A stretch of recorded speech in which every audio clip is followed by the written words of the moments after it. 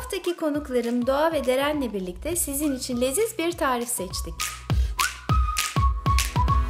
Dışını çikolatayla kapladığımız ve rengarenk şekerlerle süslediğimiz pop kekler hazırladık.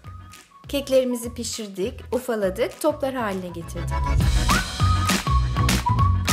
Bu topları erittiğimiz çikolataya bandırıp rengarenk şekerlerle gönlümüzce süsledik. Çocuklar Mutfak'ta Cumartesi Bean Gurme'de.